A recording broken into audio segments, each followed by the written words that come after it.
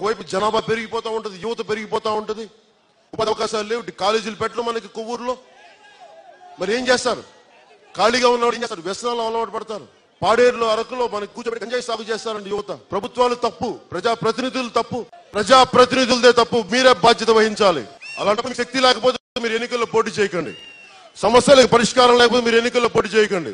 మీరు ఉద్యోగ అవకాశాలు కల్పించకపోతే మీరు అడ్డగోలుగా దోపిడీ చేస్తా ఉంటే యువతికి ఆప ఉపాధి అవకాశాలు కల్పించడం ఎలా బతికేది ఎలా పస్తులు ఉంటా ఉండే చదువు చదివి చదివి చదువులకు ఉద్యోగాలు లేక చదువుకున్న గిరిజన టీచర్లకి ఉద్యోగాలు కావాలి ఇరవై రెండు వేల ఉద్యోగాలు ఇట్లాంటి ఉద్యోగాలు రావాల్సి వస్తే కనీసం రెండు వందల మూడు వందలు కూడా జిల్లాకి ఇవ్వలేని ఉద్యోగాల పరిస్థితి ప్రభుత్వం ఉంది.